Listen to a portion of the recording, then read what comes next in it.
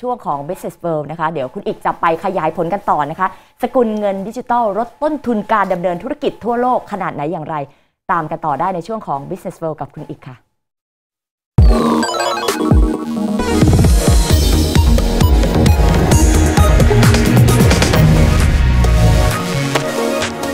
ผู้ชมครับสกุลเงินดิจิตอลนั้นถือว่าเป็นสิ่งที่เราเริ่มที่จะคุ้นชินเพิ่มมากยิ่งขึ้นแล้วนะครับถึงแม้ว่าอาจจะยังคงเป็นเรื่องใหม่ แต่ว่าเนื่องจากว่าตอนนี้หลาย ๆ ประเทศให้ความสำคัญเพิ่มมากยิ่งขึ้นนะครับโดยเฉพาะระดับธนาคารกลางเพราะตัวเขาเองเนี่ยก็กำลังเจอปัญหาอยู่เหมือนกันนะครับ เนื่องจากว่าการทำธุรกรรมทางการเงินในปัจจุบันนี้ ไม่ว่าจะเป็นการโอนเงิน การซื้อของเงินข้ามประเทศต่างๆเนี่ยนะครับ มันยังมีประเด็นปัญหาอยู่ เช่น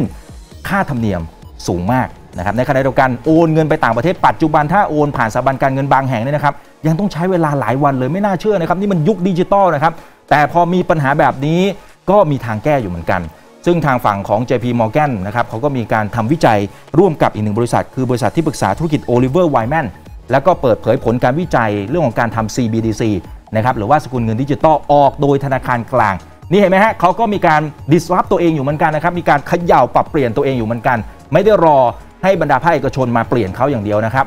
ซึ่ง ประโยชน์คืออะไรบ้าง เช่น การประหยัดต้นทุนการทำธุรกรรม ที่เป็นเม็ดเงินที่สูงถึง 1 0 0 0 0แสนล้านเหรียญต่อปีนะครับถ้าไปเจาะดูไส้ในก็จะมีเรื่องของการทำธุรกรรมต้นทุนค่าธรรมเนียมต่างๆเนี่ยที่อาจจะประหยัดลงไปนี่ยครับสูงถึง 1 2 0 0 0 0 ล้านเหรียญนะเนื่องจากว่าเป็นการทำธุรกรรมระหว่างประเทศเนี่ยตัวมูลค่าทั้งหมดเลยนะครับอยู่ที่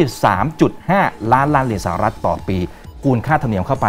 หลักแสนล้านเหรียญนี่ไม่ใช่เรื่องเล่นๆเลยนะครับในขณะเดียวกัน ถ้าไปดูไส้ในของตัวรายงานตรงนี้น่าสนใจมากๆครับเขาบอกว่าภูมิภาคอาเซียนแถวๆบ้านเรานี่แหละ จะเป็นประเทศที่ได้ประโยชน์มากที่สุดถ้ากว่า CBDC นั้นเกิดขึ้นมาได้จริง แต่มันต้องใช้ระยะเวลานะครับเหตุผลที่สำคัญเป็นเพราะว่าการทำธุรกรรมธุรกรรมทางการเงินณปัจจุบันนี้เช่นในกัมพูชา หรือว่าสปลาวเวลาที่จะโอนตังไปต่างประเทศเนี่ยครับยังคงต้องจ่ายค่าธรรมเนียมร้อยละ 10 จนถึงร้อยละ12โอ้โหไม่น่าเชื่อว่ายังสูงขนาดนี้ ระยะเวลาก็อีกเรื่องหนึ่งนะครับเพราะฉะนั้นมันเป็นอุปสรรคที่สำคัญมากๆ ถ้า CBDC เกิดขึ้นได้แก้ไขปัญหาได้ 2 ประเทศนี้จะเป็นตัวอย่างนะครับที่จะเป็นประเทศที่ได้รับประโยชน์ไปเต็มๆนะครับบ้านเราเองก็อยู่ในระหว่างการพิจารณา แล้วก็กระบวนการต่างๆนะครับในการพิจารณาสิ่งผลกระทบรอบด้านสำหรับการทำบาทดิจิตอลถ้าทำได้ตรงนี้ก็จะเป็นการช่วยเหลือบรรดาผู้ประกอบการได้อีกเยอะเลย ต้นทุนการทำธุรกรรมก็จะลดลงไป รวมถึงประชาชนด้วยนะครับในขณะเดียวกันครับถ้าไปดูประเทศจีนเนี่ยต้องถือว่าเป็นหนึ่งในผู้นำระดับโลกในด้านนี้แล้วนะครับ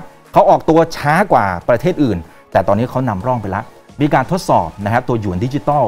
เบื้องต้นนะครับ ถ้าปีที่แล้วนี่สี่เมืองนะฮะก็จะมีทางด้านของเซินเจิ้นเฉิงตูต่างๆเนี่ยครับแต่ว่าปัจจุบันเนี่ยขยายผลไปไกลแล้วนะครับ และตั้งเป้าว่ากุมภาพันธ์ปีหน้านะครับนี่เราพูดถึงอีกประมาณ 2-3 เดือนนะครับเขาจะมีการลอนช์หรือว่าเปิดให้ใช้ทั่วประเทศ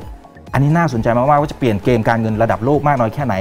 ญี่ปุ่นไม่น้อยหน้า เพิ่งจะมีการทดสอบเย็นดิจิตอลไปตั้งแต่กรกฎาคมที่ผ่านมานะครับนี่จะเห็นนะครับว่าหลาย ๆ ประเทศก็พยายามที่จะพัฒนาตัวเองดิสลอฟตัวเองเขย่าตัวเอง และเชื่อมต่อระบบการเงินของโลกใบใหม่นะครับแต่ว่าจริง ๆ ก็มีข้อเสียอยู่บ้าง เช่น ทางฝั่งของรัฐบาลจะสามารถควบคุมดูได้เลยนะครับว่าเส้นทางการโอนเงินของเราจะไปที่ไหนยังไงนะแล้วสามารถตั้งเงื่อนไขต่าง ๆ ได้ด้วย เอาไว้เดี๋ยววันหน้าจะมาอธิบายเพิ่มเติมนะครับก็ถือว่าเป็นความท้าทายที่รัฐบาลต้องสื่อสารกับประชาชนให้ดีครับ นี่คือ Business World ครับ